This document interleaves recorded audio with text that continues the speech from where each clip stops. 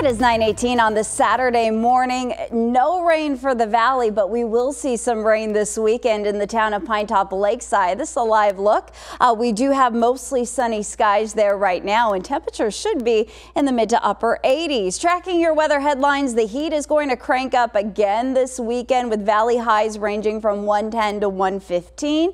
Afternoon and evening mountain thunderstorms are expected today and tomorrow as the valley does stay dry. But looking ahead to next week, the monsoon is ramping up and we should have our first decent chances of seeing some rain in the valley, at least for the first time this season. Temperature wise right now, we're flirting with triple digits in Phoenix. It's 98 right now. It's 76 in Flagstaff, 81 for Show Low, it's 95 for Bullhead City and 96 for Lake Havasu City. Dew points are in the 40s and 50s across our southern deserts and in the 40s and 50s across northern Arizona. This moisture across northern Arizona will help fuel those storms with daytime heating. Not enough moisture for Metro Phoenix to get in on that monsoon action. And you can see from our satellite and radar picture, we're pretty dry across our state right now.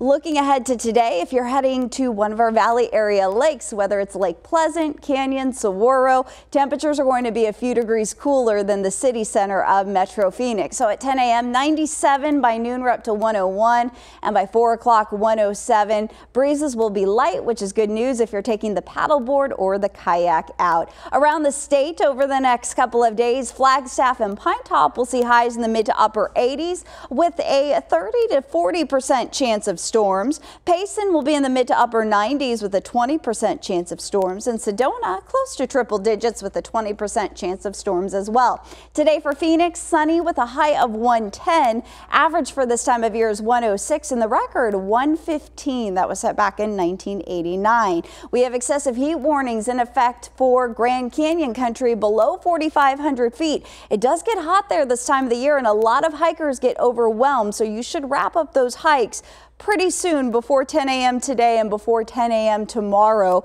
And then looking to Metro Phoenix tomorrow, excessive heat warnings issued 10 a.m. to 8 p.m. Sunday. Temperatures will range from 110 to 115.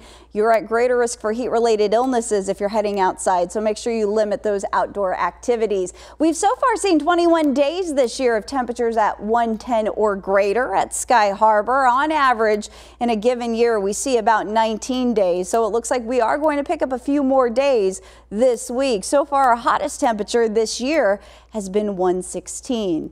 Futurecast shows we'll have some cooling thunderstorms that start to develop this afternoon, right around 12 or 1 across the Flagstaff area pushing into Prescott, potentially into Show Low as well. Uh, those storms increasing in coverage between 4, 5, 6 o'clock. And then as we head into the latter part of tonight, those storms should dissipate. The main threats with these storms would be cloud to ground lightning, erratic winds, and some brief heavy downpours. Those highs for today around the valley with sunshine, we'll see 111 for Goodyear, 111 for Laveen, 111 for Glendale, 110 for Chandler and Gilbert, as well as Scottsdale, 109 for for Mesa and Deer Valley. We're up to 113 tomorrow. That's our hottest day of the week.